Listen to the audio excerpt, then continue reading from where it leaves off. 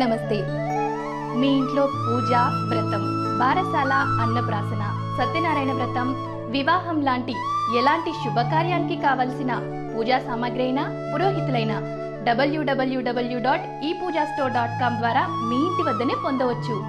మరిన్ని వివరాలకి eight zero nine six eight three eight three eight త్రీకి కాల్ చేయండి. ఈ రాబోయేటటువంటి మాసం శ్రావణ మాసం. ఈ శ్రావణ మాసంలో ప్రతి దేవతకి పూజ చేసుకోవడం అనేది మనకి సాంప్రదాయంగా వస్తుంది.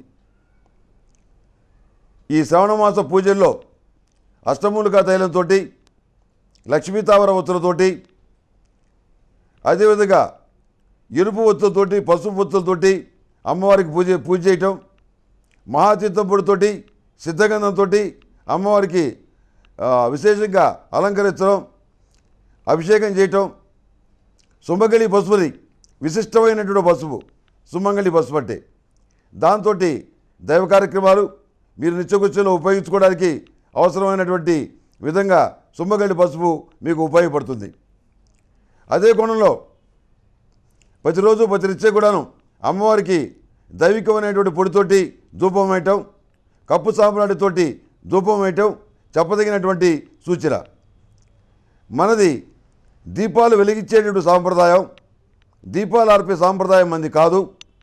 కనుక ఆ దీపాలని చక్కగా వెలిగించడం వల్ల సంతోషకరమైన విషయాలు కలుగుతాయి. లక్ష్మీ తామర ఒత్తుతో దీపారాధన చేస్తే ఆర్థికపరమైన విషయాల్లో మంచి పురోగతి బాగుంటుంది. అరటినార ఒత్తుతో దీపారాధన చేస్తే పిల్లలు అన్ని విధాలుగా పైకొస్తారు. వాళ్ళకి అదొక రక్షా కవచంగా ఉంటుంది. తెల్లజీడి మొత్తంతో దీపారాధన చేస్తే భర్త పరిస్థితి బాగుంటుంది. అదేవిధంగా హనుమాన్ మొత్తంతో దీపారాధన చేస్తే ఇంటి మొత్తానికి అనుకూల ఫలితాలు ఉంటాయి. ఇవన్నీ కూడాను ఈ శ్రావణ మాసంలో మీరు చేసుకునేటువంటి పూజల్లో విశిష్టమైనటువంటి ఈ ద్రవ్యాలు మీకు చక్కగా ఉపయోగపడతాయి. వాటిని ఉపయోగించుకొని మరింత మంచి ఫలితాలని పొందాలని చెప్పని నేను విశ్వసిస్తున్నాను.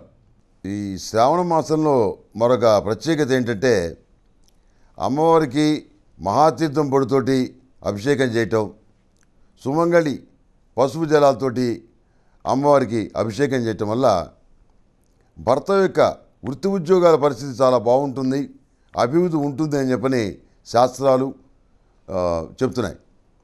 కనుక శ్రావణ మాసంలో ప్రతిరోజు కూడాను మీరు కొలిచే అమ్మవారికి సుమంగళి పసుపుతోటి మహాతీర్థం పొడితోటి మీరు అభిషేకం చేస్తే మంచి ఫలితాలు సంప్రాప్తిస్తాయి.